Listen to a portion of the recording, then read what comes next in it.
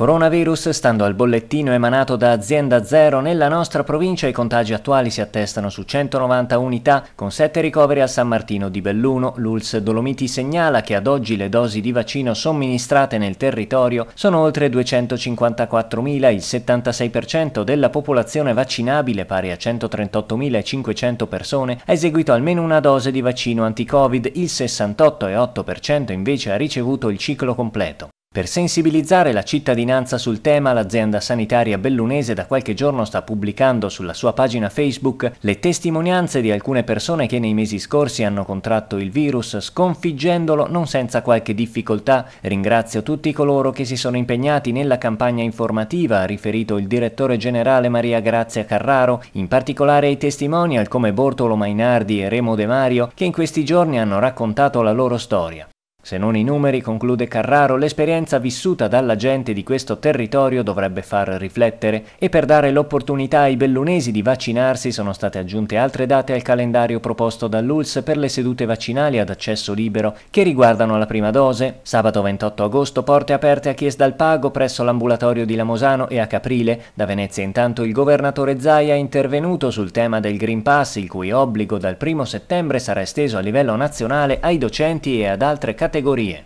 È inevitabile che questa forma di certificazione ci accompagnerà ancora. È pur vero che se lo vediamo sempre dalla parte di chi non ce lo ha, è giustamente chi non ha il Green Pass dice mi tocca quantomeno farmi un tampone, poi c'è anche chi non vuole farsi neanche il tampone, quindi diventa problematico. Se spostiamo l'osservatorio un attimo e lo guardiamo dalla parte dell'80% delle persone vaccinate, ti dicono scusami, io mi sono tutelato, ho fatto anche un sacrificio per la comunità, non capisco per quale motivo devo essere io adesso a doverci rimettere. Io spero che si venga fuori da questa partita del Covid non con una società spaccata a metà,